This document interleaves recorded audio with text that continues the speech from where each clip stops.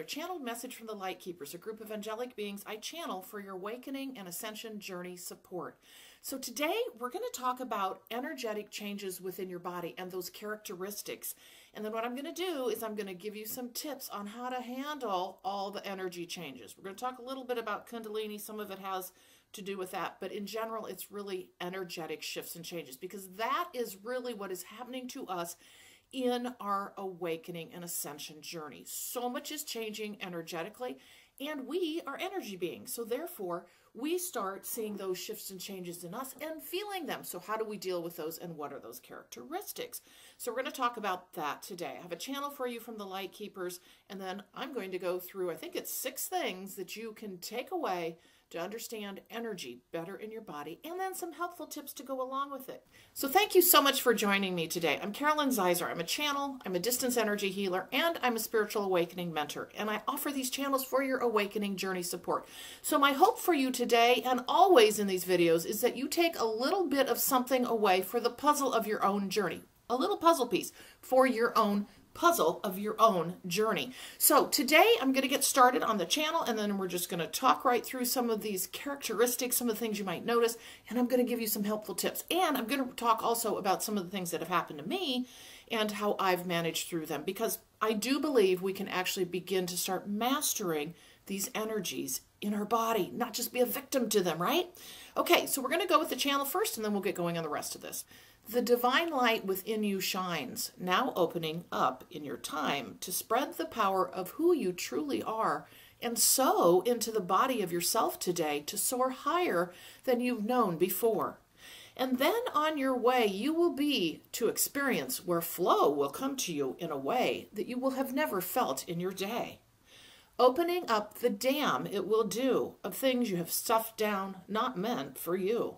And yet, in this time, as it makes its way, the divine light of energy, we say, will shake and rock your world at times to wake you further in your journey in time. Accelerate your growth, it will do, and change your ways forever, too. You will no longer see things the same way. For when the spark lights the flame of the fire in your name, you begin to see things differently, too. And yet, at times, the physicality of it will be difficult, rewiring you in a way that allows all to flow today. Taking you over, you will feel at times and that you have no control, we find. But it is you integrating with your greatest of divine. Now, the power you will find one day as it courses through your being. Allow it to say what it needs and how it will break through all that has held you back, we say too making you look at yourself, a great study of you, this awakening today. So as you feel this light of the divine, each to their own, they will in time, gently aflow it might be, with a subtle shock too, or knock you off your foundation of who you thought you were too. But a higher purpose it has for you today, lifting you up and taking you away from the human suffering that has been, to break through these experiences, even if you do not understand what they are to begin. Lean in and let it be, for it is full of love for you and always been a part of you too. Awaiting for this time it has when you will soar the heavens again. So, what they're talking about here is what they call the divine light. And they don't say Kundalini, you know, that's really kind of our words, our human words. This is a divine energy in all of us at certain times in our life journey, particularly during the awakening. However, we're also having ascension energies come into us during the time. We're also having potentially Kundalini awaken in us. All right, so it's all energies. We're just going to talk a lot today about different characteristics of energy in your body so you can start really kind of identifying what's going on rather than just wondering what is happening to me and then finding some ways that you can actually manage this. Okay, so let's start talking about how energy represents itself in human form in our bodies. So, first of all, I want to mention that as many of you may know or have experienced, I'm sure we've all experienced this, is energy can get stuck in our body, particularly in our major energy centers, our primary chakras. So, this can unfold in a number of ways, and you may notice this. Oh, okay, I'll just give you a really good example from my own journey. I, forever and a day, I have a stiff upper back and a totally knotted up stiff stiff neck, all right? I take all my stress there. And this is more kind of a past thing, but my entire life, that's the way it's been. You know, with my career and everything, I would get stressed out. I would get all frozen up through here, frozen in my neck, and just like felt like nothing was moving. Now, this is before my awakening, so I never thought anything of it, right? At all. I just thought, well, I'll just work out. I'll, um, you know, do some body work, which I'll talk about here in a minute. Or I will just, you know, anesthetize myself by taking Advil or whatever. I never understood that it was connected into chakras. In fact, I didn't even know what chakras were not too many years ago. Anyway, during my journey, what I realized before I was actually awake, just before my dark night of the soul, I had my neck actually it's my throat chakra but it's the back of the throat chakra like in the back of the neck area open up like nobody's business. All right. So what happened for me there was I had, I guess I'll just tell you the detail. I had been seeing somebody at the time, and um, he had actually done massage previously. So he was working on my neck one night because I had come back from a really busy day, and he had said, "Oh, let's just I'll do a massage for your neck." At that time, I think I'd had a glass of wine too, so I was totally relaxed and to have somebody who's really professional knowing what they're doing well what happened was and this was so divine i could not believe it. It was this was meant to happen. What happened is and to this day this is how i do my energy work when i work the spine. In between the vertebra there's that little soft space that he would work. What happened to me at that point in time because i had stuck energy in my neck forever and I didn't have flow, all of a sudden I felt energy course through my body. It became unstuck back here and it went through to my crown and I thought my brain was coming out of my head. It felt like electric shocks. I didn't know what Kundalini was at the time. I had no clue. All I knew is that I was kind of freaking out and I said, Oh my gosh, stop. I have to, I, I need to go lay down. I was dizzy. I was disoriented, all this stuff, right? So the point in this is I then went to bed, woke up the next day and was fine. However, what I realized later after I went through my awakening is this was where I was blocked in one of my energy centers to not allow the kundalini to flow through me and that's when it flew through me when i had a massage okay so again there's probably some conversation about the throat chakra here too, but we won't get into that. There's multi-layered reasons these things happen. But the point is, is I had stuck energy in an energy center. You may likely experience that as well, whether it's your root chakra, whatever it is, you may start noticing things. For instance, you may have blockages in your crown. You may have blockages in your third eye. Maybe you're getting a lot of headaches. That may be a sign of you have stuck energy, okay, in one of your major energy centers. So I'm going to quickly move to helpful hints on this one because I think I need to tie that in right away. One of the biggest things that I realized later on in my journey as I realized Kundalini had opened up, and honestly, that's the only full on experience I'd had with Kundalini in a massive way. And I know many people have extreme experiences with Kundalini, and that's not why we're here to talk about that. But just know from one degree to another, you're going to have likely uh, some kind of energetic highly energetic, divine um, experience, and call it what you want, Kundalini. So, what I looked back on and realized, and I realized we can't go back in time and start over, but for 20 years, I had been doing body work. I have shiatsu massage on a regular basis. Every two weeks, I go. Well, and this is one of the helpful hints we'll talk about, or I'll list again later, is body work on your meridians and your energy centers. That's what shiatsu does. It's a it's a combination of acupressure and um, like Western massage. Um, and what happens is it works the areas where you're blocked all the time. So I was constantly for 20 years getting myself worked on where I was unblocking flow. I didn't know I was preparing for this, right? But I definitely know that there was purpose in this to come so that I would awaken to my full energy body fairly quickly because I went through a warp speed awakening so I could do the work that I'm doing. So not everybody's on that trajectory, but my point in this is everybody can benefit from body work. So, what I would say to you, if you're noticing whether you want to call it Kundalini or a lot of energy blockages where you're feeling tightness or you're feeling some kind of reaction in one of the major energy centers, and then it exudes out to the rest of the body too, if we don't deal with it, is I would highly recommend therapeutic shiatsu massage. Now, massage in general is great, but shiatsu is super therapeutic and they work on the meridians. Now, you can argue also too acupuncture is a great opportunity because it's very similar. Um, I just chose the shiatsu route. So look into that if you are realizing that you're having issues dealing with energy, which most of us do at one time or another in this journey. And so it will help unblock the dam that you've built up in your energetic flow system within your body. Okay, so what they're showing is that okay, they're showing first of all that that kundalini oh, can be the dynamite that unblocks the dam is what they're saying. Remember, I talk a lot about the flow of the stream.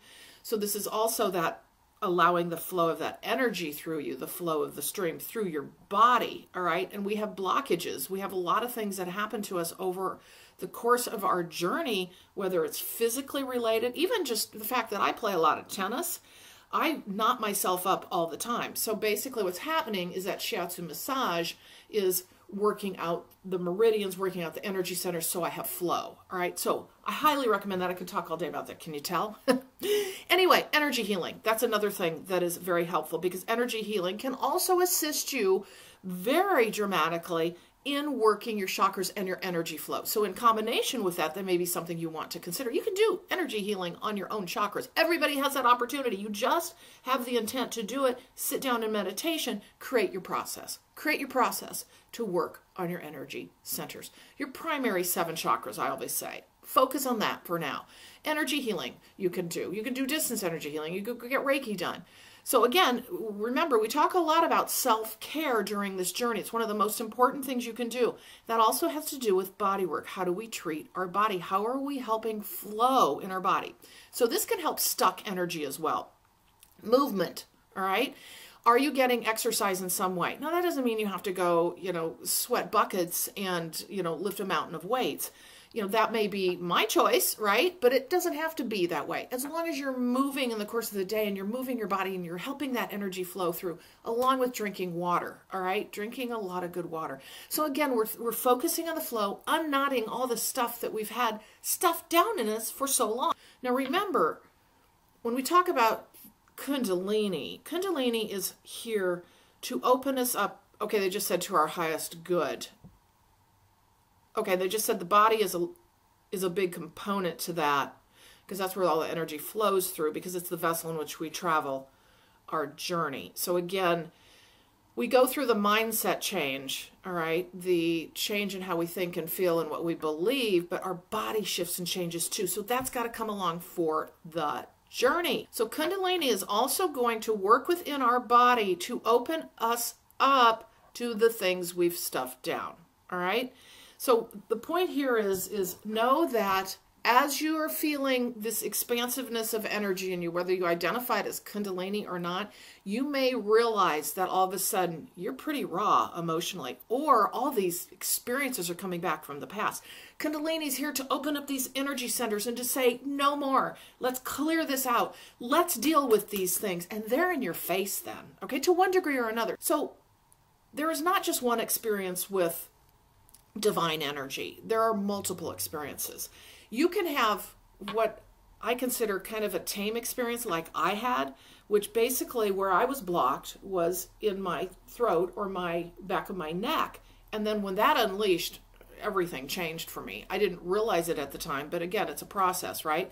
I actually have had real good flow. I've continued my shiatsu work. I continue all of that self care stuff. I didn't know for 20 years I was prepping for an awakening. I didn't even know what that was, right? But you might look back on your journey and say, Ooh, I've done these things all along to prepare for this. Who knew? And some of us haven't done anything, so that's not a big deal. It's just the way it was meant to be. And now you can start doing these things and considering these things in your journey because that divine energy here, that Kundalini, if you want to call it that, is here to open us up to our higher good, to allow that kind of flow, to remove those blockages. And a lot of those blockages are emotional stuff we've stuffed down or turned a blind eye to when we don't look at. And we can see that in our day to day. Great example is, and I was like this at one point in my journey for quite some time. I've always felt I'm pretty good at dealing with things to a point, and then I kind of just move on, right? Well, that's not clearly dealing with and understanding what has occurred in my past and then clearing it out. Well, in the awakening, we know that they're in your face, right? Those little remnants are in your face. And so, one example is being a workaholic. You know, what are we stuffing down and not dealing with, and we're working instead? Maybe we do understand it, but we don't want to really mess with it, right? There are many things. Um, addictions um, are a really good example of how that we turn a blind eye to things that we don't want to deal with or we don't even know have happened to us. And in the awakening journey, we know that comes up. And Kundalini, divine energy, allows us to open up to all of it because one of the important things in the ascension journey as you all know now with listening to my videos is we are clearing all of this crud out so that we can be lighter and we can understand ourselves better. And then we can move into a greater knowledge of who we truly are and then continue growing in light and growing in that higher vibration. Because we can't take that stuff with us. So kundalini's here to help us clear that out. Okay, so that, that's the first one. So now we're going on to number two. So this is a really interesting thing that I have recently learned. Divine energy is now starting to, with many of their talking about the new children, and this came in the other day, come in at the crown. And oh god, I have chills. Okay. It's and I know that probably for most of you doesn't make sense. However, what they're saying, they're it's coming in in a different way through, okay, the downloads is what they're saying. Okay, they just said offered through the crown versus the base of the spine. Oh, okay, so what they're saying, this has to do with, okay, this is all new information to me. Design, the design of the new children. Oh, of the hybrid children. Whoa, I have chills. Okay, that's fascinating. So Kundalini, okay, so we could probably go on and on about that.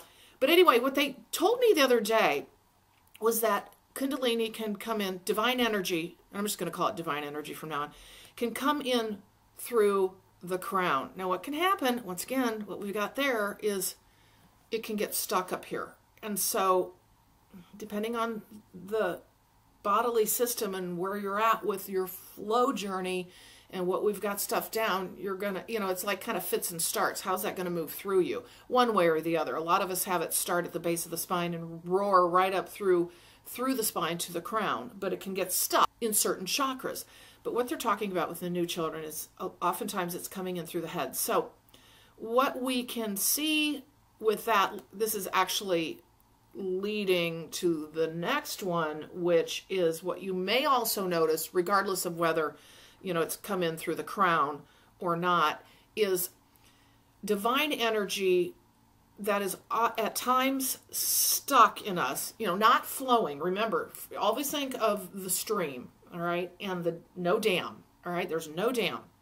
The stream, okay. So that flow that we have that we're trying to create in our journey through unblocking all of our emotions, dealing with the things we haven't dealt with, learning who we are, dealing with relationships. It goes on and on, right? The things that we haven't looked at all are here for us to look at. But what happens is some of the, the ways we can tell that potentially we are dealing with divine energy is there are feelings oftentimes of what, and they always give these examples of like a short circuiting, or it feels like, okay, they just said, Okay. Oh, jeez. Okay. Like you're going to stroke out sometimes in the head. All right. I had it the other day where um, it, it felt like, well, I, I don't know. Most of you probably have felt this where you get a little tingy feeling in a part of your head. And I had it the other day and I knew immediately that this was energy. All right. And again, remember, this is where my issue is, usually the neck area. So, you know, even though I have body work done regularly, I still have this happen. And I thought, ooh, I know what this is. Something's moving in there, something's stuck. It felt like electrical sparks in me. So, we're going to talk about how we can actually manage that and work with it and kind of master it as we go along here. But needless to say, I was assisted in helping remove that feeling and make flow happen more readily within myself. But what you may feel are sparks, short circuiting, feels like you have um, little twings of, of energy moving through you. Sometimes it's in your head, oftentimes it's through the rest of your body. And you might feel that. Sometimes you get twitches. You may get twitches in your body in certain places.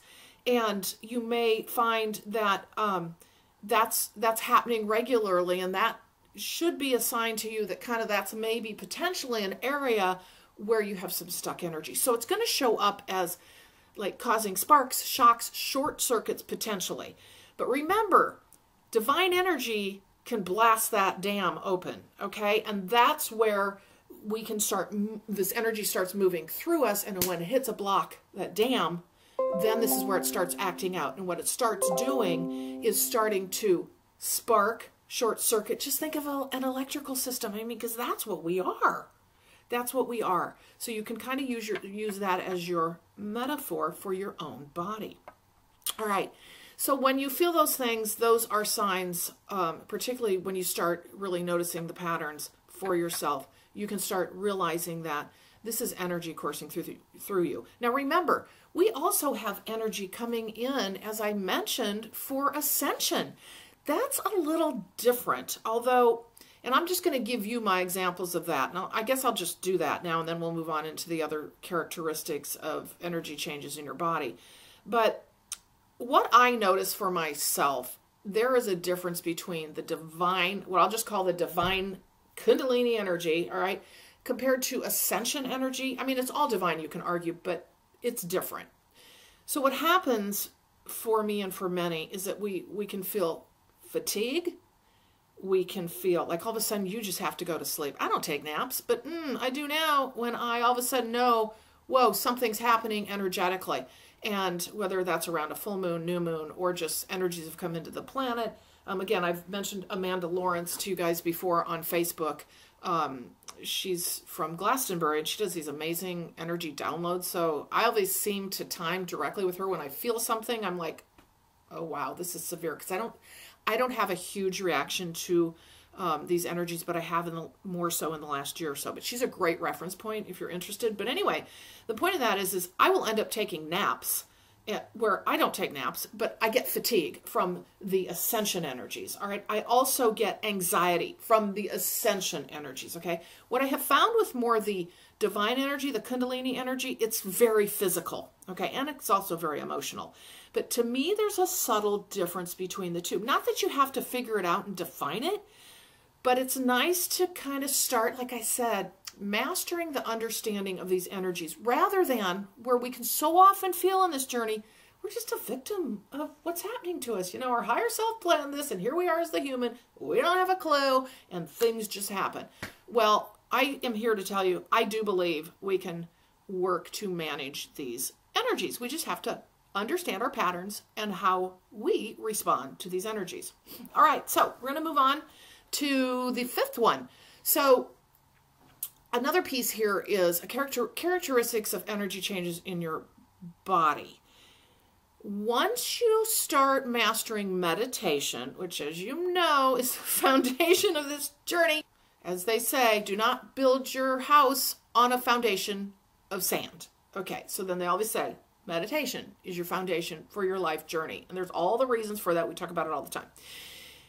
But when you start moving into a deeper state of meditation, and for me, what that means is I get past the 15 minute mark. That's just kind of where I am. I kind of struggle during the first 15 minutes. And you know, we all have our own patterns. And I've been meditating for about probably regularly four years. And I know my patterns, but when I get past the 15 minute mark, which, you know what? I'm going to tell you lately, I've been really horrible at spending more than 15 minutes. But when I do, and I'm starting now this last week to do it past 15 minutes, I'm doing 30, 40 minute meditations. What happens there is a completely different state of meditation. And what you'll be able to start doing potentially is, and this is where the starting the mastery of this um, and I guess you could argue, well, do you ever really master the energetic situations? I think you can be a partner with it. Okay, so that's probably a better word, the partnership with the energy. What may start to happen for you is as you go into a deeper meditation, all of a sudden the energy starts to take over. It's kind of like an anti gravity um, type of energy. What you're going to potentially notice in your longer meditations as you start moving through the partnership with the energy, but particularly more mastering meditation, is little movements of your body, your hands, your legs. You may feel like somebody's moving you. You're not doing it. Your body may start to feel more, um, I'll just say like a rigor mortis feel. And you will also start not feeling your body. It's almost like you don't have a body. I don't want to say you're removed from your body because I've yet to have that happen. I'm sure that's an opportunity down the road. Essentially, it's a very anti gravity feel. And you, um, as you may, okay, they just said mudras. Okay. Because I don't, as a human, understand that, I think that's poses for, I think that's in uh, Hindu. I don't know. Sorry. But anyway, needless to say, mudras. I think mudras are movements. I think that's energetic movements. Okay, just they said it is. Ah, okay. I don't know. Anyway, you can correct me if I'm wrong. Um, so certain poses will start to happen. The energy is assisting and moving you all right, into these movements. But it's really kind of anti-gravity. And so what I notice is I just lift up. All right. I just I I offer it to take over for me and to take me into a deeper meditation. And so what happens for me is I will just feel like I'm two inches off the ground. All right. And I feel like I can't feel my body. I can't feel my hands, particularly in my arms. That's the main thing for me and my my legs. Um, the middle section of my body can be very tight, but the thing is, I'm I'm almost physically floating. This is when the energy starts to take over. So then what I do is I basically say, because I set myself up in advance, I basically say, do as needed for my highest good.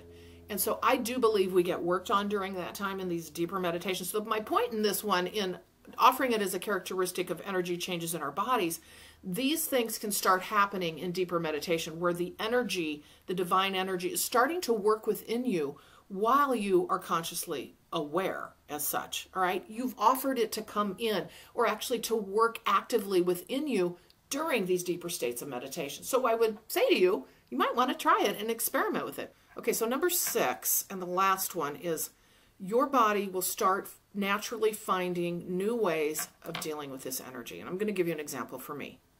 I started to notice, well, in my in my practice in my business, I work in people's energy bodies all the time, particularly when I'm doing distance energy healing. And what I notice is I then am expelling energy for them. Okay. And I do these huge exhales that are not normal breathing for me or even my normal big breaths as I'm just going throughout my day. They are massive exhales where I know I'm expelling energy for the client. However, that also happens for myself.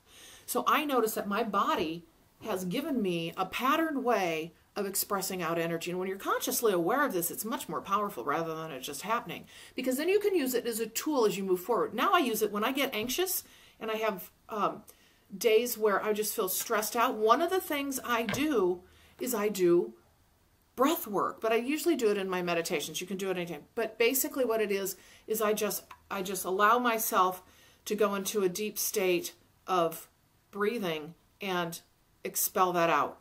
So what I'll notice throughout my day is if I'm feeling anxious, if I'm feeling um, some kind of stress within myself, my body will actually naturally start wanting myself to breathe deeper. And lots of times when we're in anxiety and stress, we have very shallow breathing. So now during the awakening journey, my body has just automatically turned that part on so that I'm noticing, oh, okay, okay. So now I'm consciously aware of this so I can actually help myself and assist myself in doing that. Because once we become aware of these things and our patterns in ourselves, then we can actually turn that switch on and use that tool as we move forward, having those experiences of, say, anxiety or new energies coming in. Another way that I deal with all the energies coming in from the ascension is, again, like I said, fatigue will take over. I will just take a nap. You know, of course, we can't all just take a nap, but needless to say, try to slow down in some way. But these big exhales will help you. Meditation will also help you.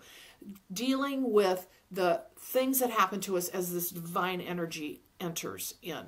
So, working with that divine energy, working through your breath with those exhales, noticing your triggers, and really starting to partner with that energy.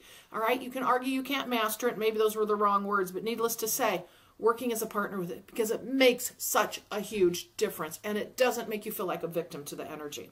So those are the six things I wanted to talk about today. There are many others that we could probably discuss, but I just wanted to hit on some highlights because basically the idea of this is it doesn't need to be just done to you. We can start understanding our patterns. We can start understanding how we can actually participate and how we can actually take back a little bit of control during this journey and then kind of with awe participate in it. So some helpful tips that I want you to know, maybe a couple of these might be a repeat, but what I really feel is important to this journey with the energies is surrender and allow that flow. Just surrender to it. Know that it happens. The more we force and fight, the more difficult this will be. Forget whether it's divine energy in the sense of the kundalini because it'll fight you back um, if you if you put up the fight response and that has to do with like blocking your emotions um, not taking care of yourself all those things that we do to ourselves day to day that we don't think of Kundalini, the divine energy, will make you look at that. Additionally, surrendering into the idea that we have ascension energies. That's not going to stop. We're energy bodies. We're going to take that in and finding your own practices, finding the things that help you. What assists you in your journey of dealing with the energies and those characteristics that we see every single day coming into us in our bodies and affecting our day to day. So remember too, this is all for our greater good. So just know that. But these are just tools so that you can better manage through these times as well as understand the characteristics of energies and know your own patterns. All right, so understand and respect it. That's so important. Understanding what we just talked about, the energies, how they show up in you, but respecting them. Respecting those energies that are coming into you because it's for your divine good and opening you up to so much more flow. That is so critical for us to be that beautiful vessel that all can work within. And also clearing out all of the things that we have stuffed down for so long and not dealt with. And then it makes it either easier for us as we continue to move forward on our journey to be able to deal with those things. So remember to continue to assist your body and mind in whatever way that means. We talked about some of the things that you can do from body work to just mind work, that kind of thing, being able to be very aware of that, assisting yourself through making sure that you're exercising, drinking plenty of water, all of those things. You're doing you know, maybe body work, you're doing um, energy work, all of those kinds of things. And a lot of these things we can do on ourselves too. I mean, if you don't want to go get shiatsu massage and you know you think that's too expensive for whatever reason it is, and particularly now with COVID, that kind of can be kind of hard. There, there are all kinds of things you can do. You can use rollers to move through your energy centers. You can unblock your own chakras. So just start looking online for that because there's a lot of self care options that you can use to help yourself with blockages. Additionally, allowing your feeling and emotion. Talk about a helpful tip. I mean, do not stuff it down. When it shows up, deal with it. You know, cry it out, work it out, um, journal it out, determine where it's coming from. Um, it helps to talk to other people. I mean, you know, like that's what I do for my business, right? I mean, talk to other people about their awakening journey get on Zoom, get connected with people, have that conversation, share, get it out. Be with somebody you can trust where you can allow your emotions to be felt and talk through these experiences that you've had and come to terms with them and clear them out.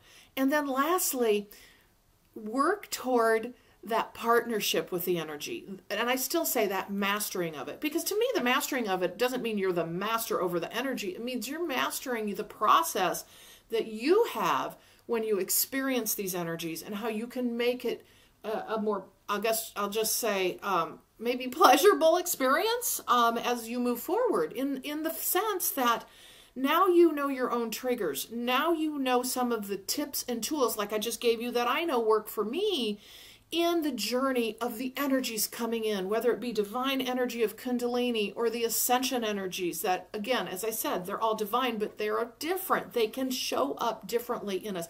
It's going to continue to happen. Also, Kundalini never leaves, it's there within you. It will operate differently over certain times of your awakening journey. So just know that. I have had um, you know, during my journey, like I said, I have not had massive Kundalini experiences, but some people have had such massive experiences that they just feel like they've completely been rewired and short circuited and then there's a big recovery process but the point is is know that energy is in there for you you're going to be affected from one degree to another maybe subtly or maybe heavily it's all there for your greater good but what we can start doing is being able to master our own way of dealing with the energies and how we actually react to that and how we actually understand what's going on. And so that we can come to the party as the conscious human to participate. Just like in this awakening journey, it's not just done to us, we have work we do as well. So, thank you so much for joining me today. I hope you've taken something away on how to manage the energies within you as they enter you during your awakening and ascension journey, as well as the characteristics of them, so you can start understanding how your own body and mind react to them. So I'll leave you with purplerainhealing.com. Check out all my services where I work with you one on one in channeling in all of my services to bring you through information that will help you in your awakening and ascension journey. Be it spiritual awakening mentoring, where I work with you regularly, be it channeled messages for you to take on your own and kind of decipher and figure out, or documented sessions where I do distance energy healing and then a full on document of your soul journey. So I would love to work with you. Check out my services, purplerainhealing.com. Connect with me if you're interested. And again, I thank you so much for being here. You are so helpful to me in my journey, and I love seeing your comments. Again, thank you, and I will see you in the next video.